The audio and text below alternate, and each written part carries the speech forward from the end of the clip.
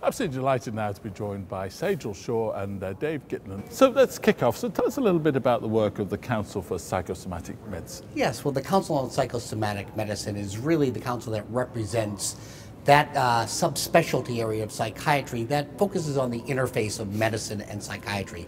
Patients with comorbid medical conditions as well as psychiatric conditions, often known in the field as consultation liaison psychiatry.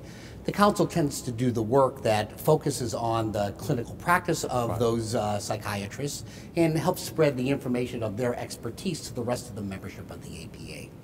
So Sejal, you're on the council, aren't you? So, so tell us a little bit about your work. Sure. Uh, so I was appointed as the early career physician uh, on, on, the council representing the uh, perspective of early practice psychiatrists. And some of my work, uh, I'll highlight two aspects of, of, what I'm working on right now. One involves fellowship recruitment. Uh, we're hoping to increase the number of psychiatry residents that go into our field, um, given the exciting opportunities sure. that are available right now.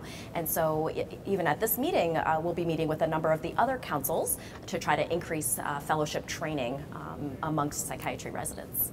The second project that I'm working on is part of a subgroup on emergency department boarding. Uh, it's well known uh, amongst uh, psychiatrists across the country and emergency medicine physicians that the time that it takes for mentally ill individuals to get access to care, uh, it, the delays are just uh, staggering um, amongst patients that are looking for mental health treatment or substance use disorder treatment. And so we've put together a position paper as part of the council uh, to highlight some local and, and national efforts that may lead to some solutions. This is quite an issue at the moment in the United States, isn't it? Absolutely. It's truly a public health crisis. So you're obviously at the conference, you're obviously wanting to get more people involved. How are you going about that? Yeah, so one of our one of our efforts um, has been to gear some of our uh, education efforts of our field to medical students.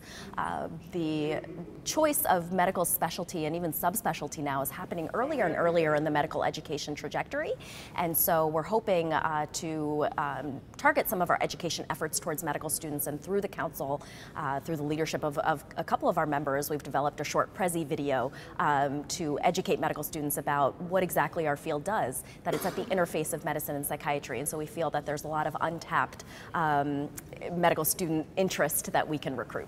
For general members, uh, the Council on Psychosomatic Medicine is one of the leading councils focused on the collaborative care efforts, cutting edge efforts to integrate uh, psychiatry into the larger medical practice. And so we have the opportunity to engage many of the members of the APA around these issues of integrated care and collaborative care as well. Well, thank you both very much indeed for uh, joining us and best of luck uh, with uh, your efforts. Thank, thank you very you, much. Thank you so much, Steve.